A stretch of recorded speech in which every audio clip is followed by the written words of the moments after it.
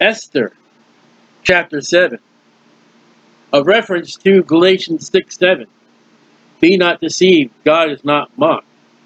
Whatsoever man soweth, that he shall also reap. That's going to be Haman's lesson. So the king and Haman came to the banquet which, with Esther the queen. And the king said again unto Esther the second time at the banquet of wine, What is thy petition, Queen Esther? He knows there's something more than just having dinner. And the wisdom of Esther is, I'm not just going to drop the bomb. I mean, she could have done that when she went in there, touched the scepter, and say, "Oh, king, do what we're going to do in chapter 7 and chapter 8. But she knows the naughtiness and the pride of Haman and playing him out. Again, God is not in, the, in, the, in this book, but he, God is playing out in the book. God is playing out Haman's pride. I got to go with the king and queen, have a meal with them, and I'm going back tomorrow. There's no one else but me. Hey, hey, hey. Oh, look at that guy over there. He won't bow down before me. I'm going to build these gallows. Look how wonderful I am.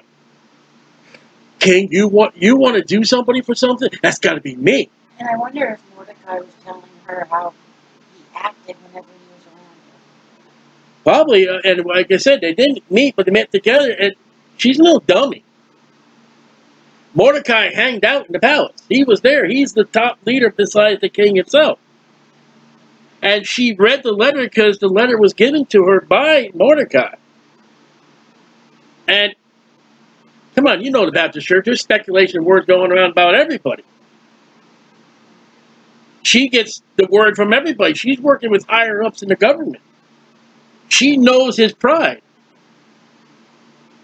And the Lord is using it if Esther's not using it. And the Bible speaks much about pride, and pride brings that brings you down. And that's what's going to happen here. I've dealt with people who have fought with alcoholism. They're saved and they fought with it and they fought with it, and some get victory over it.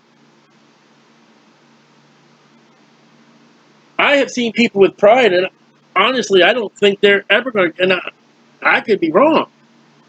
But pride lifts you up. How dare you speak to me? How dare you think that, that your authority, who are you? And Haman has dared to ask the king, demanding, I want your clothes, I want your horse, I want your crown, I want to be proclaimed in your people. This is who the king delighted. That's some nerve. That's because, oh, who did the king appreciate more? Myself. Okay, now this same man sitting down at dinner again, and there's only the king, the queen, and, and Haman and the servants. And this is no dining room room. This is the palace. This is the best wine, the best cups, and everything. And the king goes through and says, you know, the banquet, what is thy petition, Queen Esther? It shall be granted thee. What is thy request? It shall be performed even to the half of the kingdom. And that statement has been general of all the kings. I'll give you whatever you want, but I ain't going to give it all. A loophole. Then Esther the queen answered and said, If I have found favor in thy sight, definitely found favor. She's found favor in everybody. This is a Ruth. Everybody loved Ruth. Find me anywhere in the Bible where somebody speaks ill of Ruth. David, they spoke ill of David.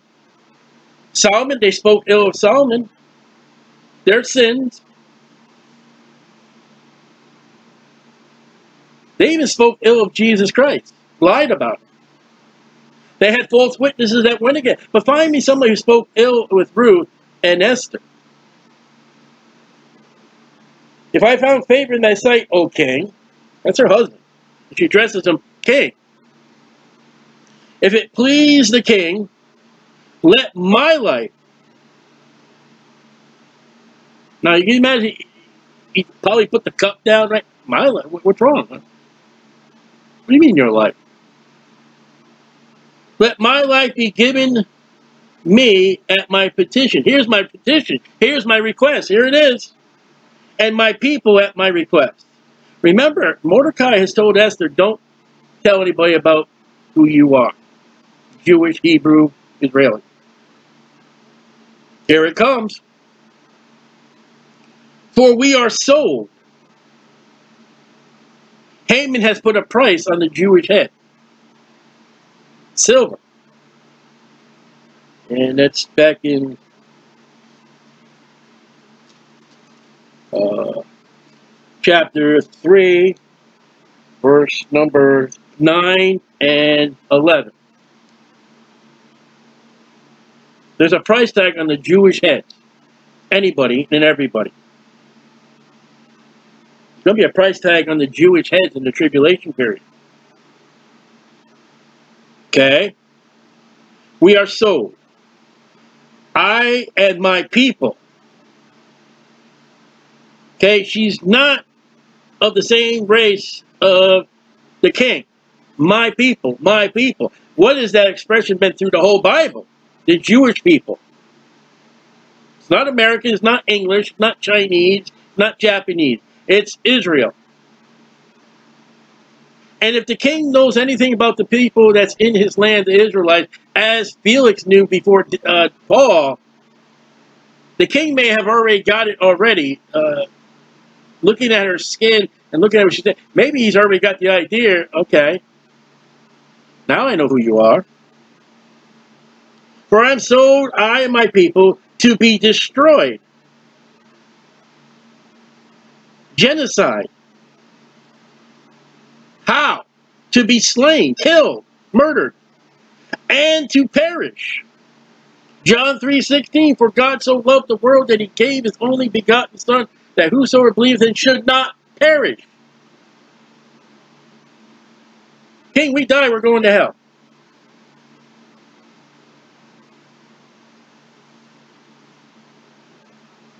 That's laid out frank, true to the point before the king. Somebody's paying for us to die. And not just wound us, to perish, to kill. Put us in the grave.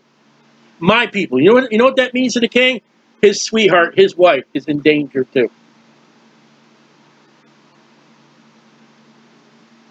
She's got his attention. But if we had been sold for bondmen and bondwomen, all right, they were put, people don't like this, but I'm going to say, if, if people were put on this on the the market to be slaves, if my people are gathered up that they could be sold for slaves anywhere and everywhere, okay, I wouldn't say a word. But we're not talking about slavery here. We're not talking about servitude here, King. We're talking about death. God can take a servant put him in another country. He's promised us people we will be back in our land. But if we go to die and perish, we're not coming back. Especially if they die in their sins, but that's outside the story of the book. I had held my tongue. I wouldn't say a word. Although the enemy, now we've already seen the enemy mentioned before. In look at chapter 3, verse 10. Esther knows something by the Holy Spirit. Chapter 3, verse 10. And the king took his ring from his hand and gave it to Haman, the son of Hammedatha, the Agagite, the Jews' enemy. Esther knows something. There is a Jewish enemy out there. It will be the Antichrist. There was Adolf Hitler. And there have been other nations, the, the United Nations is against Israel, the Muslims are against Israel, the Catholics are against Israel. But the enemy is Haman. The enemy's been Adolf Hitler. The enemy will be the Antichrist. The enemy. She knows something. And the Holy Spirit said, the word I want you to put there, inspiration, I want you to put enemy. Remember, this is by the Holy Spirit. This is not just man writing down what he thinks as other men say the Bible is. It's not. Although the enemy could not countervail, that's the only time that word is used. And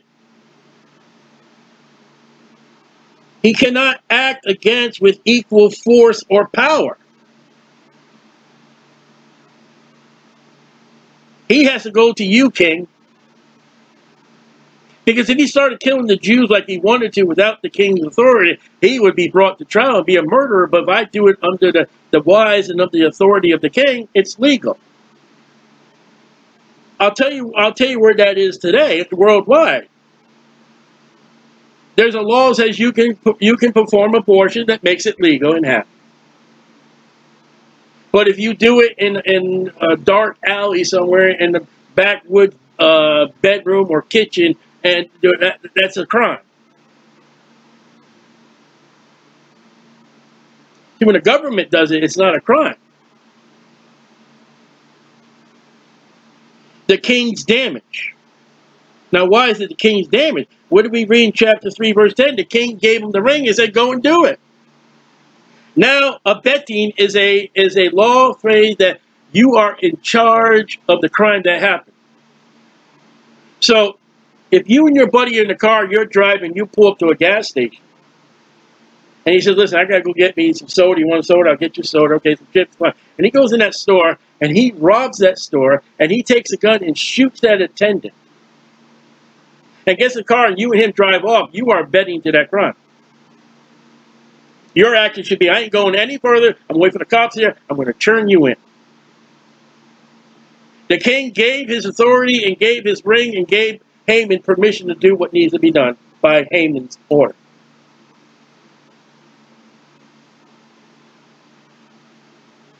And look how politely she does it. She charges nothing, but she goes in charging. She goes charging with wisdom. It's my baby. No, it's your baby. No, this is my baby. No, it's your baby. You hand me a sword. This is wisdom. This is wisdom. Then King Ahasuerus answered and said unto Esther the queen, Who is he? He doesn't even know what he's done. And yet he's still been charged by the Holy Spirit to Esther.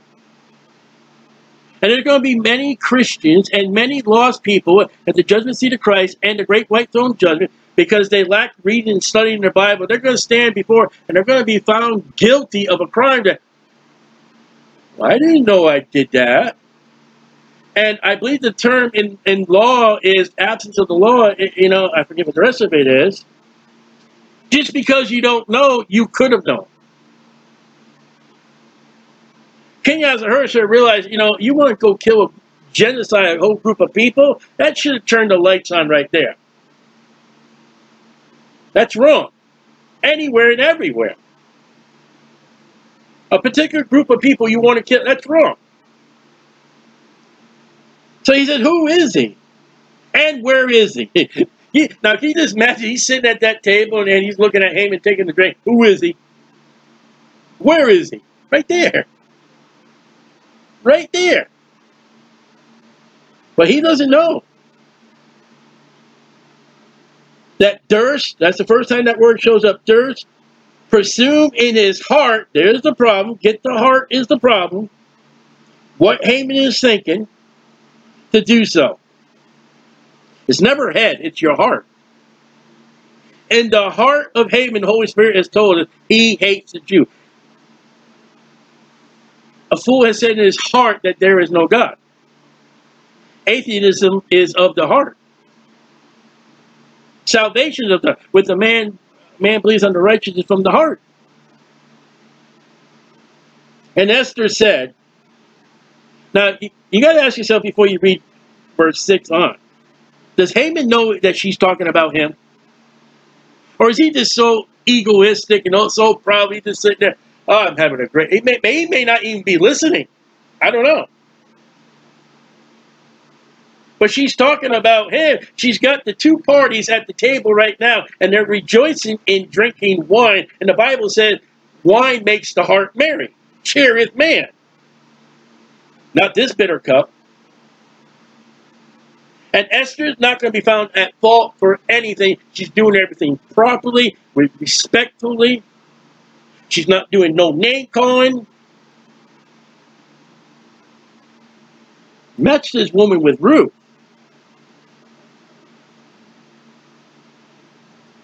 So the uh, Esther said, the adversary, get that word, and enemy, and this wicked, get those words, adversity, enemy, and wicked. That's the description. Second Thessalonians chapter 2, verse 8. Second Thessalonians 2, 8. Adjectives in the Bible and verbs in the Bible and nouns are all important, but the description. Second Thessalonians 2, 8. and then shall that capital W wicked. You ever seen king in your Bible with a capital K? That's Jesus Christ personified. Counselor is capital C. That's Jesus Christ. That capital W, w is the, the devil, the Satan. That's his name. Wicked.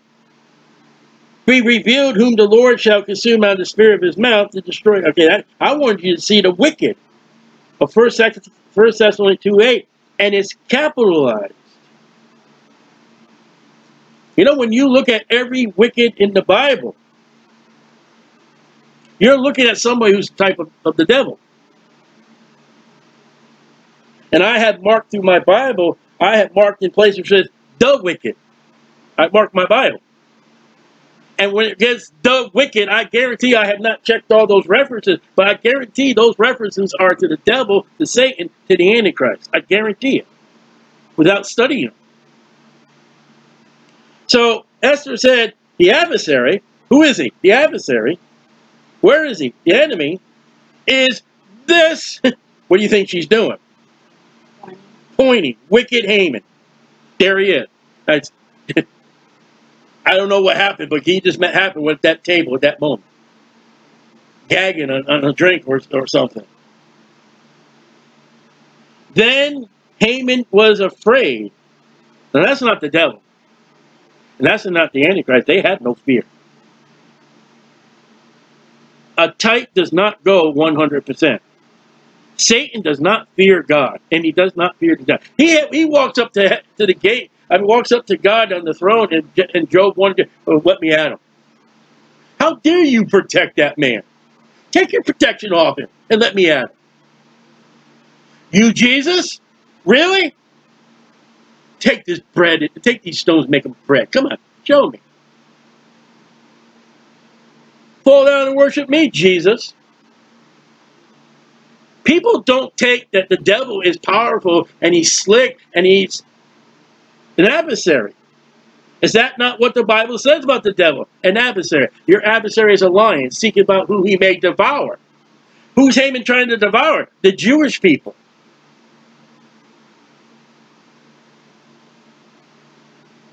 This wicked Haman. Then Haman was afraid before the king and the queen. No one else there. Now, what is the attitude at this table now? And the king arising, that's the first time that word shows up, from the banquet of wine in his wrath went into the palace garden. This guy, he gets up. I mean, I don't, I, I'm going to assume here, this is something you don't have to believe. Okay, this is my own word. I have a feeling that he's not quick tempered. But if he were to stay in that room, he's going to wrap his arms around his neck going, and this is the best thing to do, especially when you're dealing with children. Just go off another room, relax, think about it. Never chastise in anger. He goes walking off, he's like, and he's digesting, not the wine, not the, he's digesting everything the queen has told him. And he's probably thinking, okay, what are my aspects here? What am I to do? The king rises from the banquet of wine in his wrath, not anger, his wrath went into the palace garden. And Haman stood up to make a request for his life to Esther, the queen. You mean you want to go and ask for your life for somebody you were going to kill? You just didn't know she was going to die. You didn't know she was one of the ones you hated. And had you carried out your plan, you would make the king angry because you would kill his queen. So the person you hate, the people you hate, you are going to them say, please save my life, please, please, oh come on, queen, please have mercy on me, uncle, please. I don't want to die.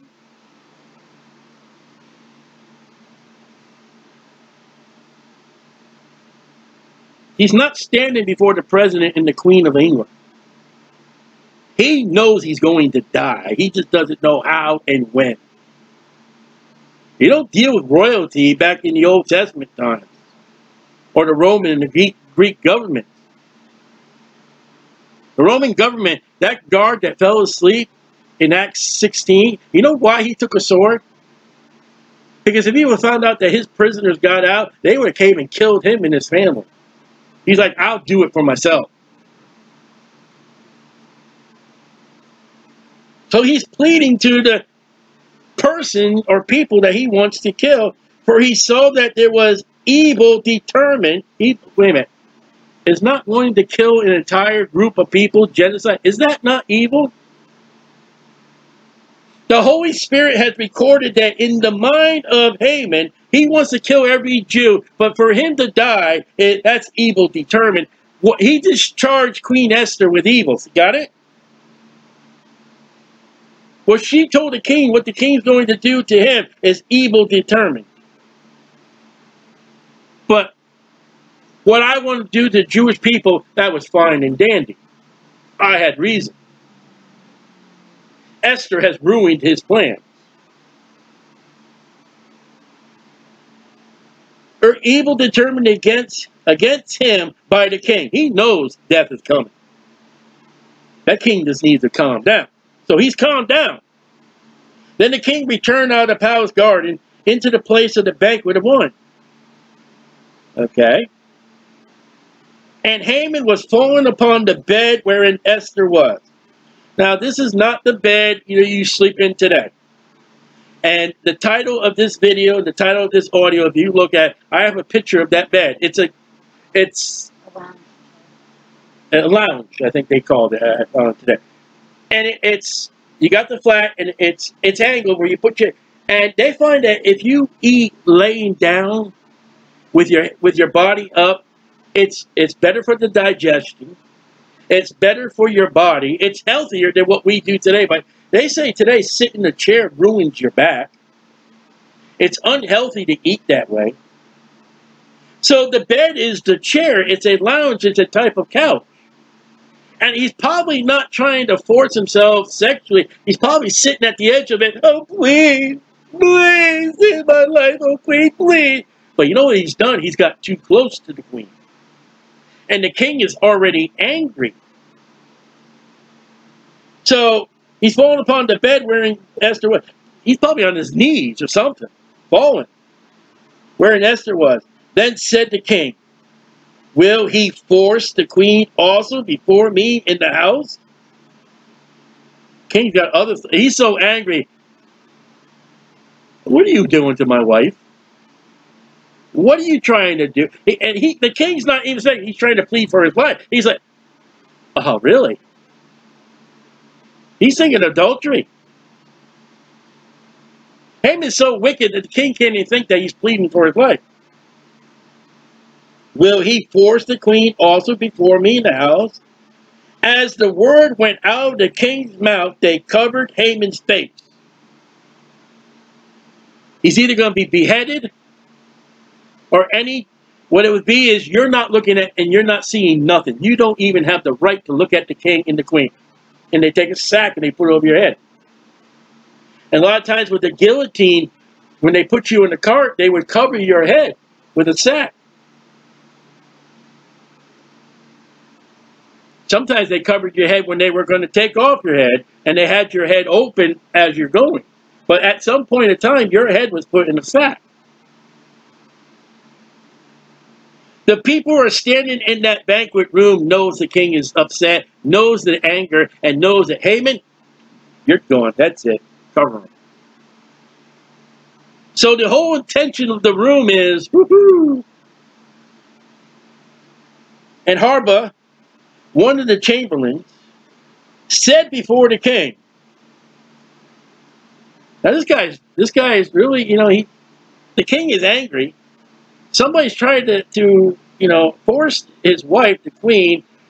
He's mad at Haman. This is not be the good time to, to say anything. But watch what he says. Said before the king, Behold also the gallows. Uh-oh. The gallows, 75 feet, plus or minus, 50 cubits high, which Haman had made for Mordecai. So I don't know if the king knew what was going on. But the servants knew it. I mean, 75 foot gallows, two school buses, uh, end on end. You're going to see it. Who has spoken good for the king. Now look at other words. Let's go back to chapter 6, verse 1 again. On that night could, could not the king sleep, for he commanded to bring the book of the records of the chronicles, and they were read before the king. It was found written that Mordecai had told of big, you know, the crime that these two men were going to lay hand. I wonder if this guy over here is the same guy that read those chronicles of the king. Is the king? If it's true, I don't know. Remember Mordecai that, that, that helped you in the chronicles? Haman has the nerve to speak against him.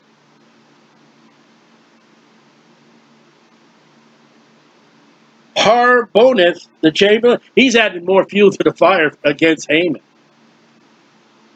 Not only is he wants to kill all these people in the king's name, not only is he uh, abducted the, the queen, but now you dare speak about someone who saved the king's life?